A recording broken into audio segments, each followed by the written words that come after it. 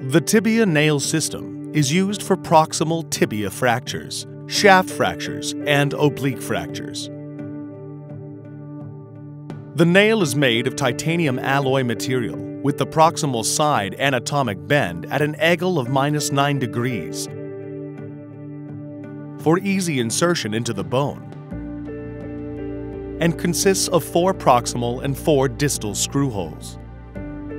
The screw hole is a semi-locking hole mechanism to prevent loosening, enabling more stable treatment.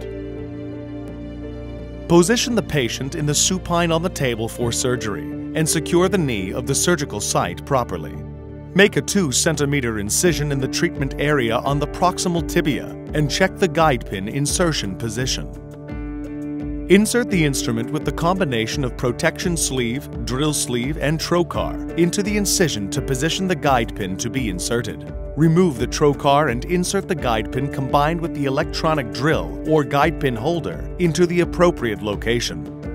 Remove the drill sleeve and insert the open reamer along the guide pin to drill until the head of the reamer reaches the proper position. Then remove the open reamer and guide pin in turn. Alternatively, opening the medullary canal may be performed using a cannulated curved awl or a primary awl. Insert the reaming rod with the ball tip to the desired depth. Using a flexible reamer shaft, reaming is carried out along the reaming rod to the desired size by starting with an 8.0 millimeter reamer head and increasing by 0.5 millimeters. And the reaming rod with the ball tip is not removed, even after reaming is completed. Prepare a nail of appropriate length and combine it with the assemble handle with an assemble bolt.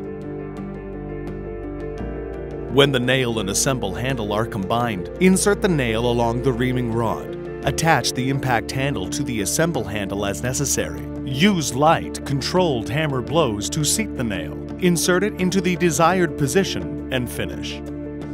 Check the nail endpoints of the nail with the barrel gauge of the assemble handle marked 5 millimeters apart. When the insertion is complete, remove the reaming rod. Assemble the proximal target device on the assembly handle. Determine the fracture shape and attach the lateral target device to the left or right side. A protection sleeve can be inserted in the cross direction through the proximal target device, and also a protection sleeve can be inserted in the horizontal direction with the lateral target device, depending on the type of fracture and the doctor's decision. Insert the guide pin into the nail endpoint targeting. Align it with the tip of the nail and check the depth of the nail. Remove the trocar from the combination of protection sleeve, drill sleeve, and trocar. Then drill until the drill bit penetrates both cortex, and measure the depth with the depth gauge to determine the length of the screw.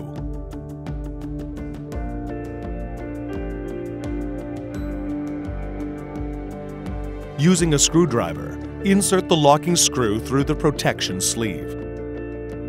Insert the remaining locking screws in the same way to complete the proximal part procedure. The distal screws tightening is carried out using a freehand technique. Using a freehand drill guide, drill into the center of the screw hole.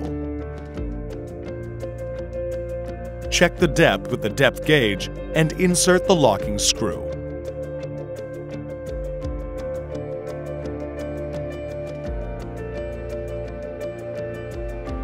Attach the selected end cap to the end cap driver and rotate the coupling screw inserted into the driver to fasten the end cap to the driver.